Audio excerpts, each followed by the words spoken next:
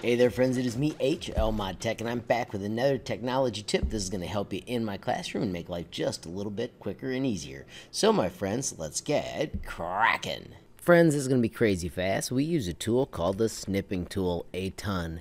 And what I want you to do is type SNI in the search box, right click on it, and do pin to taskbar. Just like that, no matter what you're doing, you'll always have the snipping tool available to you. So then you can hit new, take your screenshot, and then save it, and I always recommend saving it to your downloads folder.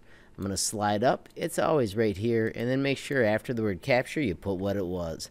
Mine right now is capture junk but then I can save it and I'm ready to always bring it up whenever I need to take a screenshot.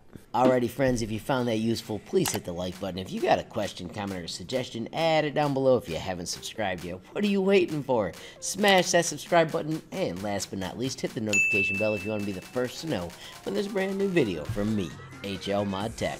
Thanks for watching. Have a great day.